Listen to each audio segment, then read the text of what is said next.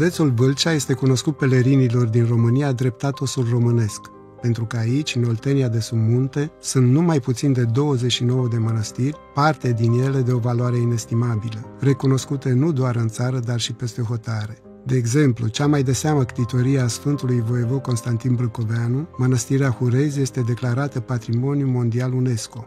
Aici s-a tipărit carte, s-au clădit biblioteci și au găsit un spațiu larg arhitectura și pictura brâncovenească. Pașii pelerinului vă invită să descoperim împreună această minunată parte a Olteniei.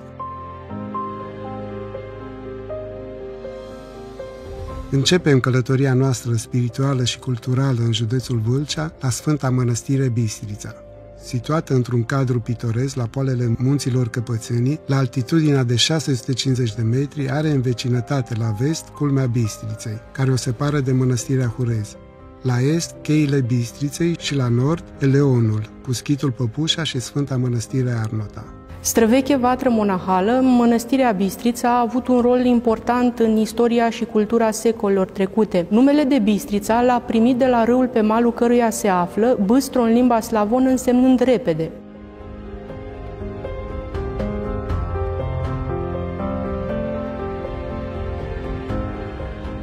Ctitorii mănăstirii Bistrița sunt renumiții frații craiovești, descendenți dintr-o veche familie boierească, jupânii Barbu, Pârvu, Danciu și Radu, au oferit Domnului și au întărit mai multe mănăstiri.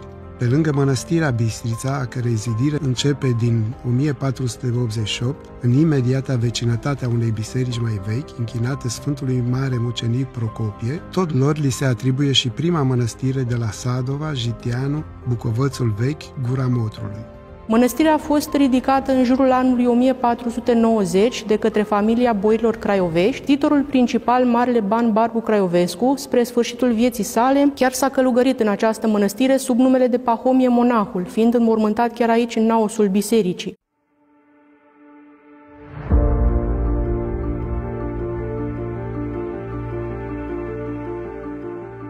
Barbu Craiovescu zidind mănăstirea, a avut dorința ca pe lângă odoare și moșii să o înzestreze și cu sfinte moaște. Așa se face că moaștele Sfântului Cuvios Grigore de Capolitul au fost cumpărate și aduse în anul 1497 de la Constantinopol și veghează asupra acestei mănăstiri de peste 500 de ani. Aducând de la Constantinopol în 1497 moaștele Sfântului Grigore de Capolitul și înzestrând titoria de la Bistrița cu ele, Boierii craiovești întăresc poziția acestui așezământ monahal ca al doilea de spiritualitate ortodoxă din țară, după mitropolia din Curtea de Argeș, unde se află moaștele Sfintei Filofteia, aduse în secolul al XIV-lea de voievodul Alexandru Nicolae Basarab. El a adus de la Constantinopol în anul 1453 moaștele Sfântului Grigorie. Sfântul Grigorie s-a născut în Asia Mică în anul 890 și a fost un mare apărător al dreptei credințe împotriva ereziei iconoclaste.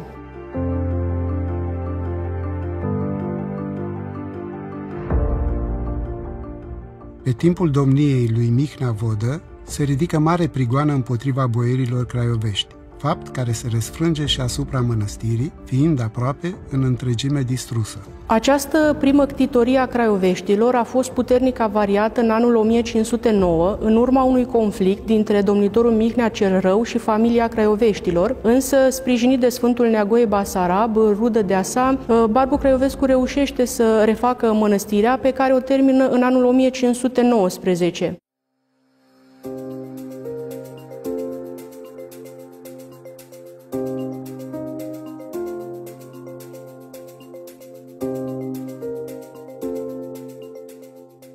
Mănăstirea Craioveștilor de la Bistrița a însemnat pentru țara românească tot atât de mult ca neamțul pentru Moldova. Pictura bisericii a fost realizată de doi pictori celebri, Dumitru și Chirtrop, conduși de celebrul meșter Dobromir, care a pictat de asemenea și mănăstirea Dealu și Curtea de Argeș.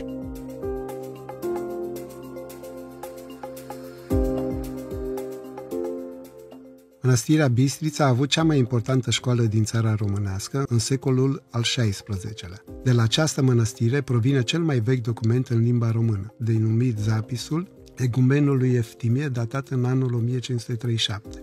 De asemenea, din Bistrița au plecat mitropoliții Teofil și Ștefan, cărora le datorăm traducerea limbii române în cultul bisericii. Aceasta a avut un impact semnificativ asupra dezvoltării limbii române și asupra consolidării identității culturale a poporului român. Toate aceste aspecte evidențiază importanța și contribuția mănăstirii Bistrița în promovarea limbii și culturii române în perioada secolului al XVI-lea. La puțin timp după fondare, mănăstirea devine un important centru cultural. Călugării de aici se îndeletniceau atât cu scrierea cât și tipărirea de cărți, precum și cu pictura, sculptura și caligrafia. În școala slavo-română de la Bistrița au existat astfel numeroase școli în care cei tineri depindeau de la cei vârstnici arta și cultura.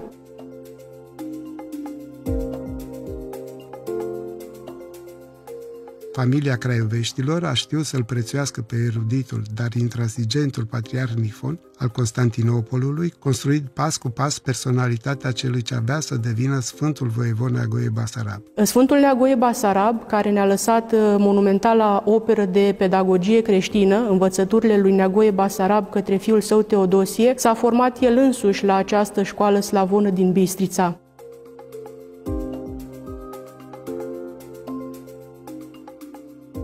În veacul al XVII-lea, mănăstirea Bistrița ocupă un loc central în evenimentele politice, culturale și internaționale. Ieromonahul Eftimie, egumen al mănăstirii, este cel mai de seamă reprezentant. El a scris uh, primul act mănăstiresc în limba română. Un alt uh, reprezentant de seamă în acestei școli a fost ieromonahul Mihail Moxa, care a scris prima istorie universală în limba română la 1620 și a tipărit Pravila de la Govora în anul 1640.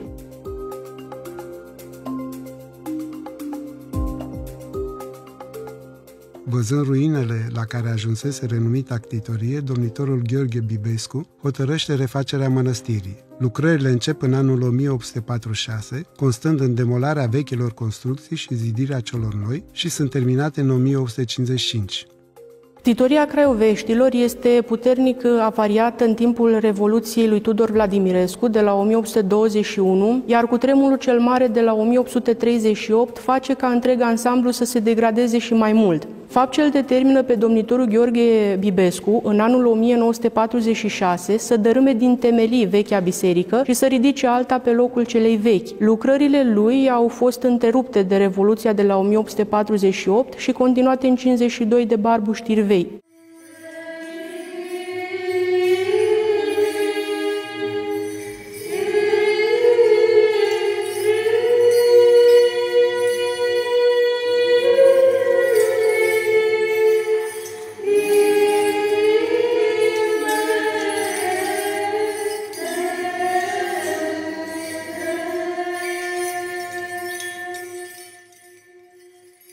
Biserica în care ne aflăm acum a fost sfințită la 15 august 1855 de către mitropolitul Nifon. Planurile bisericii au fost realizate de o echipă de arhitecți austrieci condusă de Ioan Schlatter și Scarlat Beniș, biserica fiind construită în stil romanic dalmat. Sunt aceiași arhitecți care au realizat și planurile mănăstirii Arnuta, însă spre deosebire de Arnuta, care este de proporții reduse, mănăstirea Bistrița are un aspect impunător. Biserica se aseamănă unei catedrale, iar între întreg ansamblu redă imaginea unui castel medieval.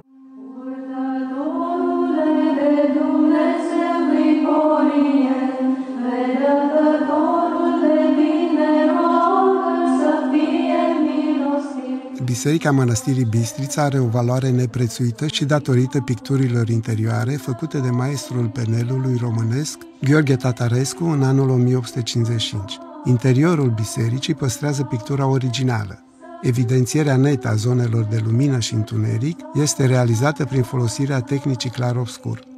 Pictura a fost realizată de Gheorghe Tatarăscu în ulei, în registre mari, largi. Ce ne atrage atenția în mod deosebit la pictură este reprezentarea Sfântului Grigorie, pe care îl vedem aici în Naos. Autorul uh, a făcut în așa fel ca privirea Sfântului să ne urmărească de când intrăm în biserică și până la Sfântul Altar, un efect artistic deosebit prin care el a vrut să arate ceea ce era și evident că Sfântul Grigorie veghează asupra mănăstirii sale și asupra tuturor celor ce vin aici și cer ajutorul cu credință.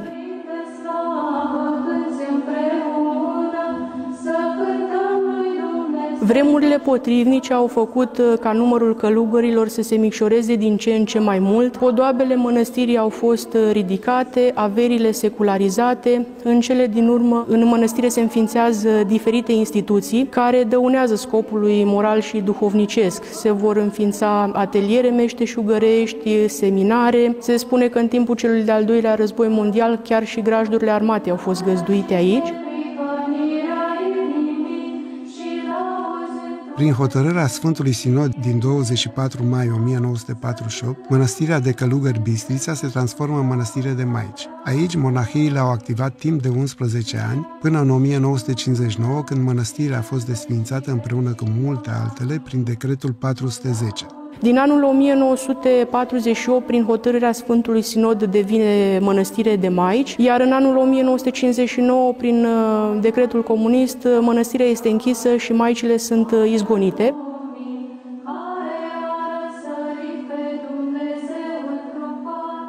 Mănăstirea va rămâne închisă până în anul 1989, atunci reintră în posesia Episcopiei Râmnicului. Doi ani mai târziu se dispune deschiderea șantierului de restaurare cu scopul de a se continua tradiția culturală și duhovnicească a Bistriței de altă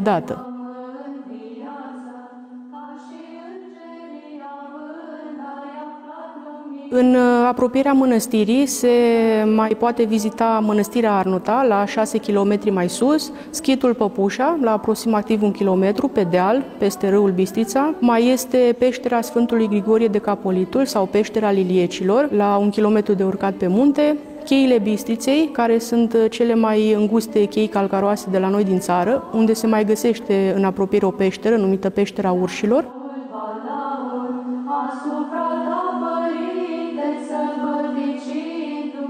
Loc de adăpost și stihăstrie, peștera a salvat patrimoniul cultural și tezaurul cultic al mănăstirii în frunte cu moaștele Sfântului Grigore de Capolitul. Alexandru Odobescu scrie acea peșteră, prețioasă ascunzătoare a călugărilor bistrițeni, le-a dat mijlocul de a scăpa de atâtea pustiiri ale inamicilor țării, odoarele și cărțile antice, lăsate de ctitori și donatori în paza lor. Peștera se numește Peștera Sfântului Grigorie de Capolitul, nu pentru că Sfântul Grigorie a viețuit în această peșteră, doar Sfintele lui Moaște, în vremuri de prigoană, erau luate de călugări din mănăstire și ascunse acolo în peșteră pentru a nu fi profanate sau furate de năvălitori. Iar peștera Liliecilor îi se spune deoarece este o rezervație naturală cu aproximativ 6-7 specii de lilieci.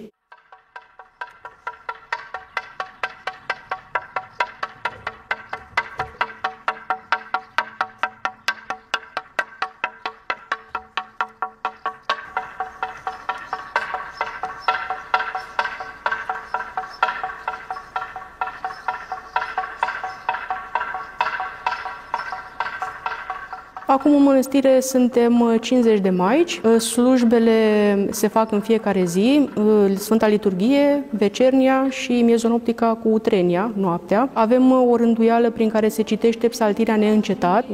Din două în două ore se schimbă măicuțele și astfel biserica este deschisă zi și noapte, iar maicile citesc în continuu la psaltire.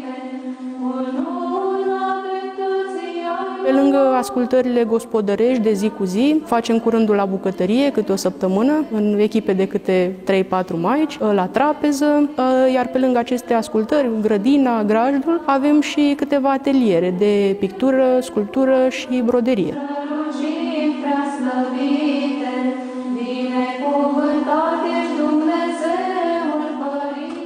Unul dintre atelierele mănăstirii, cel de sculptură, am întâlnit-o pe Maica Zenaida, care cu multă dragoste, pricepere și cu ajutorul Sfântului Grigore de Capolitul, precum ne mărturisește, realizează sculpturi în lemn, adevărate obiecte de artă. Cu ajutorul Dumnezeu și rugăciunile Sfântului Grigore, în mănăstire, aici, fiecare suntem rânduite în ascultări diferite. Iar aici, în atelierul de sculptură, caut cu multă dragoste să-mi împlinesc uh, ascultarea. Crucile pe care le sculptez aici, în atelier, uh, sunt din uh, lemn de cireș, nu sunt inventatoare, le pun pe hârtie, le trasez, apoi le traforez tot eu cu ajutorul Dumnezeu. Caut în același timp să împlinesc ascultarea cu rugăciunea, făcând un lucru cu drag, ai și bucurie și celui care comandă în lucrul respectiv, au o bucurie așa. Probabil că nevrenicia mea o spun uh, o rugăciune așa din toată din toată ființa, așa, încerc cu, cu ajutorul Dumnezeu, din toată ființa, să împlinesc lucruri rânduite în ascultare cum pot.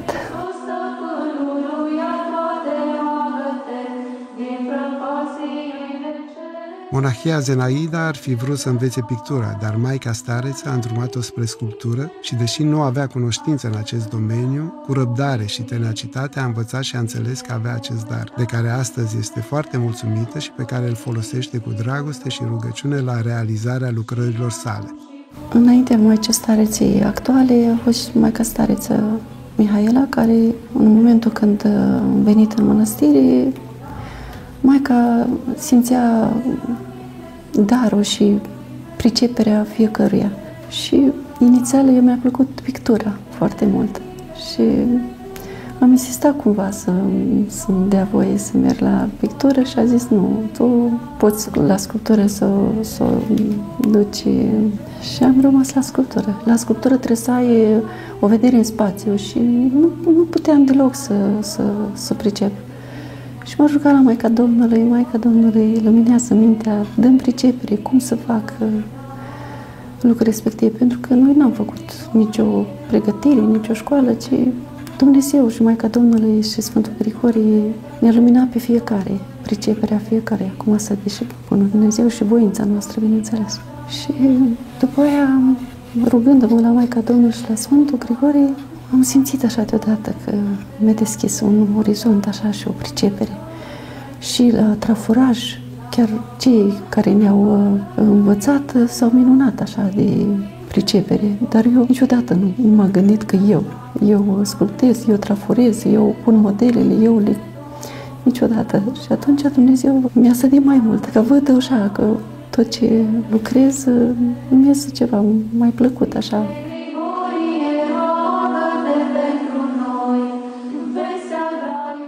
De exemplu, și crucea asta, pe care am terminat-o acum câteva zile, uh, și eu m-am minunat așa cum a ieșit. Mai îmbin ceva cu petricele, e bine că cei care mai vor comandă cer să le pun petricele și mă străduiesc așa să fie plăcut. Când uh, traforez sau când scutez, îmi vine o idee. Uite, aici ar fi mai, ar merge mai astfel. Și văd că încerc să, cred că să, să iasă cu ajutorul Dumnezeu. Nu, că dacă spunem noi că facem ceva, nu e. Dacă am greșit și n-am pus lemnul uh, pe fibra respectivă, adică să meargă dăltița bine, merg la Maica Stare și, și nu, îi mai cer o idee, Maica Stare, ce ziceți? Eu nu mai nu pot să scurtez în lemnul respectiv. Zice, pict, pictăm aici. Și punem foiță de aur și pictăm pe Mântuitorul. Și iese mult mai frumoasă, mult, mult mai plăcut. Și mai punem un postament, tot trafurat și cu ajutorul Dumnezeu iese frumos. Bine că se pot face lucruri mult mai plăcute, dar uh, totul să-ți placă. Eu așa am observat. Orice lucru, dacă faci cu drag uh, și la bucătărie sau unde, unde te afli. Maicile simt dragostea respectivă și pui suflet. Când pui suflet, totul ți iese frumos și plăcut și folositor.